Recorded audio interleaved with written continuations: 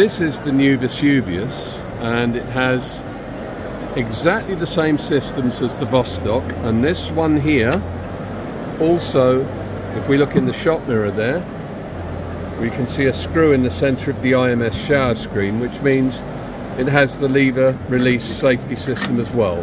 So if the portafilter flies off the lever will come back slowly. But here we've got settable pre-infusion pressure to whatever we want press that my hands are dry I can set whatever pre-infusion pressure, twin boiler, steam, brew boiler, and the group temperature from the cartridge heaters.